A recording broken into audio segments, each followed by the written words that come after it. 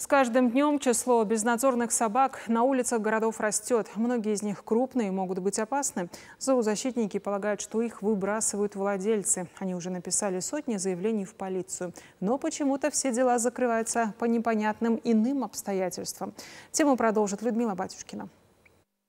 Алена Севальнева увидела питбуля на остановке. Бойцовая собака недавно ощенилась, говорит девушка. Она сообщила волонтерам о собаке, и те забрали ее, пока не случилось беды.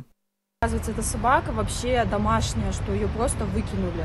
Что она щенков родила, видимо, лечить не захотели.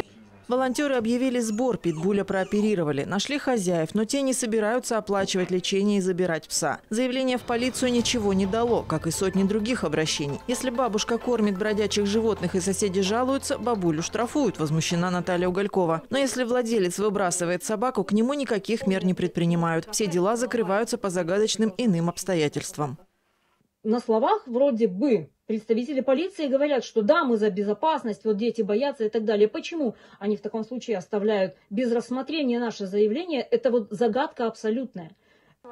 По данным полиции, в этом году поймали и наказали только трех владельцев. В одном из гаражных массивов щенков в мешке выкинули из машины прямо на глазах у патруля.